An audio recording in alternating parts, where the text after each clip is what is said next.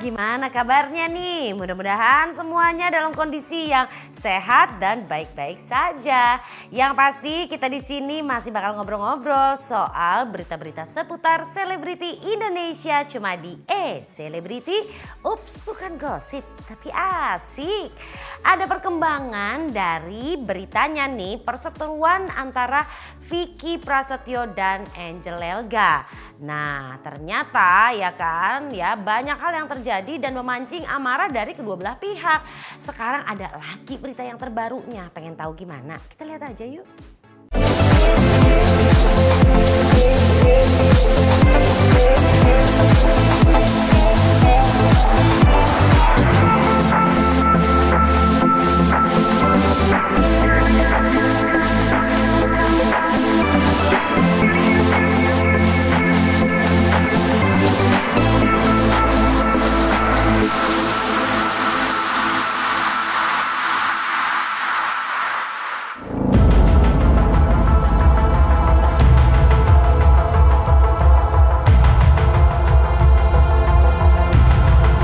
Jadi aku pernah mau ngomong gitu loh bahwa aku menikahi dia resmi eh, terdaftar sah di KUA Jakarta Pusat Sawah Besar bernegara dan agama.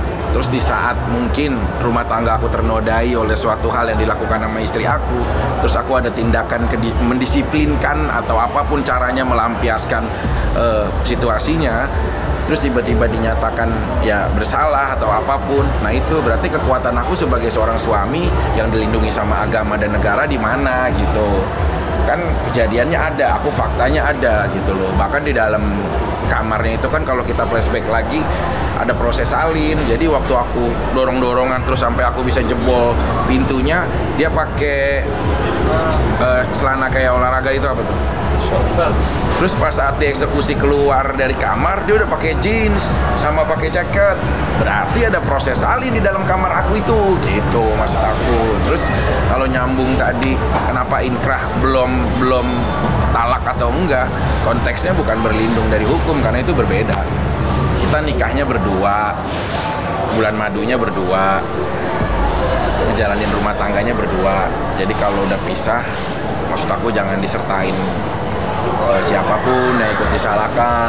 Ya orang tua aku yang nggak tahu apa-apa keluarga aku gitu. Karena ada statement keluarga aku mencuri itu kan kayak kesannya kriminal banget gitu loh. Makanya ya aku mungkin ya minggu depan kayaknya keluarga aku akan mengambil tindakan hukum. Aku nggak tahu gitu loh karena dengan statement yang seperti itu atau hal-hal yang lainnya gitu sih.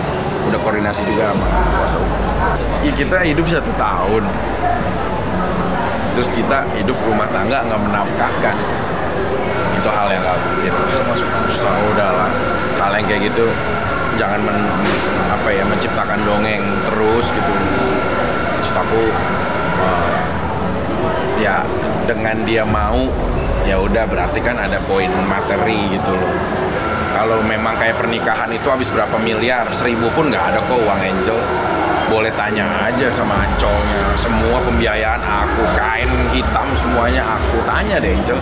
Nilai ta'ala ya aku bicara apa adanya. Sampai hubungan dengan station yang menanyakan kita live. Ya itu semua hubungannya aku gitu loh. Terus eh, ya pesta sampai sebegitu gitu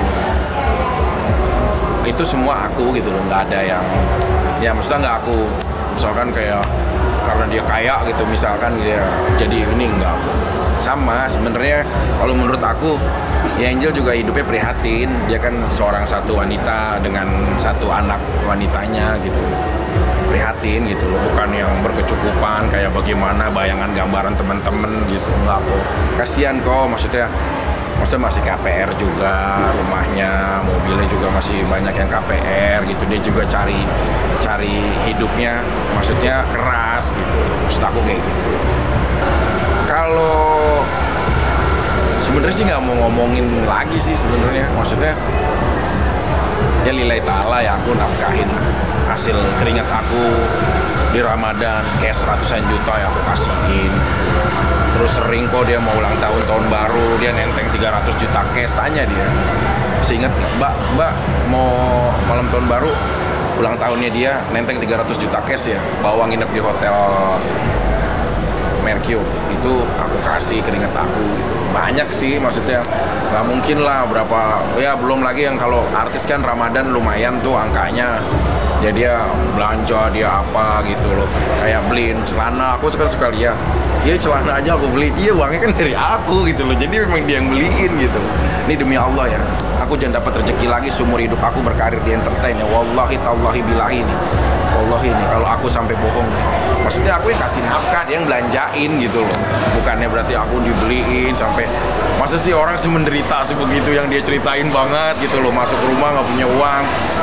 Terus kalau mau nyari kalau mau makan minta ke pasar. Aku kalau lagi baca komen gitu kadang-kadang ya dia kesel. Maksudnya terserah lah apa pun. Cuma jadinya jadi jadi berbalik lucu gitu loh. Jadi berbalik ketawa gitu. Ya enggak lah kita nafkahin juga gitu bahkan kalau hidup rumah tangga itu eh, aku tuh uang dia yang maintenance memang dia ya bagus gitu. Kita kan nggak boleh menghilangkan poin plus dari orang lain. Dia tuh memaintain uangnya memang bagus. gitu. Terus kalau kita mau kalau mau syuting mau apa, misalkan aku berangkat pagi, mam, aku mau berangkat dulu ya. Iya det, itu duitnya di gelas ya, ada tuh di gelas kecil. Jadi kalau buat listrik buat apa, jadi itu aku ngambil kayak bekal sekolah 500 bener.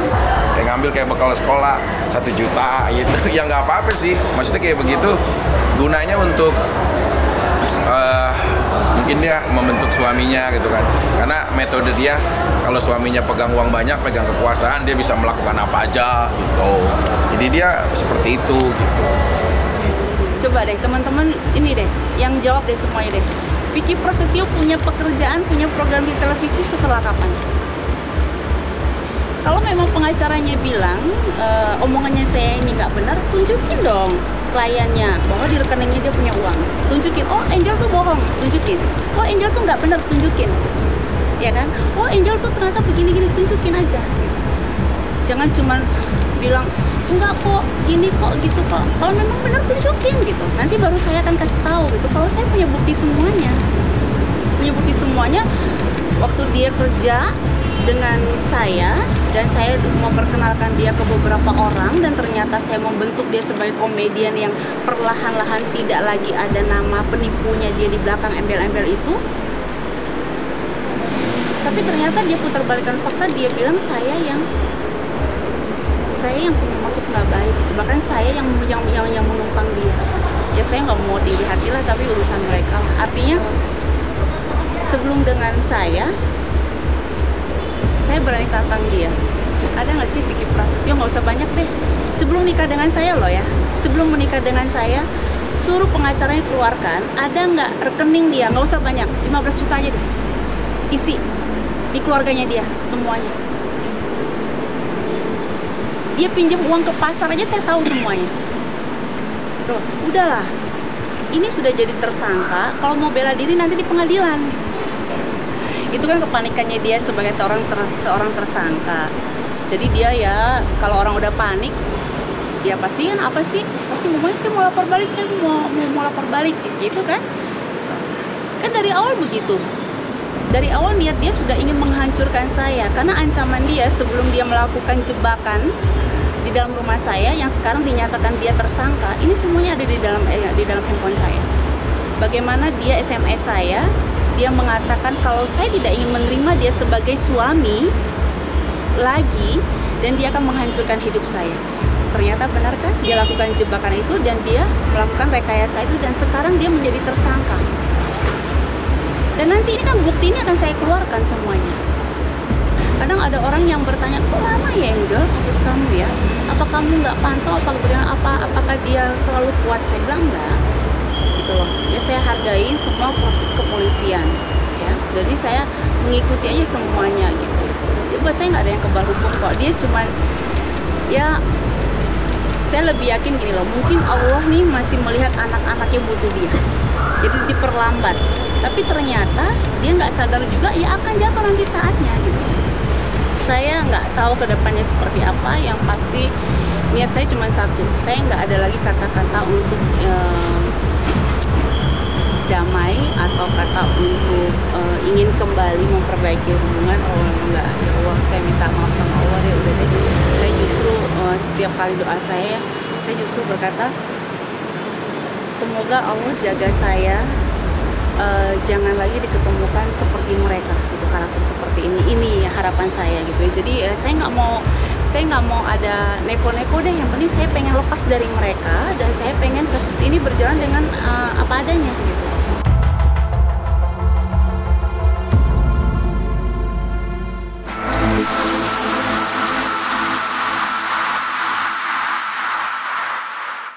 Aduh, kalau bicara tentang orang yang berpisah ya nih ada sebuah kutipan dari Tom Cruise katanya ya.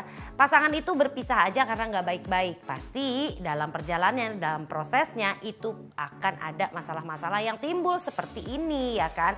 Ya mudah-mudahan aja lah ya namanya orang lagi marah dimaklum aja. Semoga bisa ketemu jalan keluarnya yang sama-sama enak untuk kedua belah pihak. Masih ada lagi yang lainnya, selebriti lain sudah menanti Anda. Jadi jangan ke mana-mana.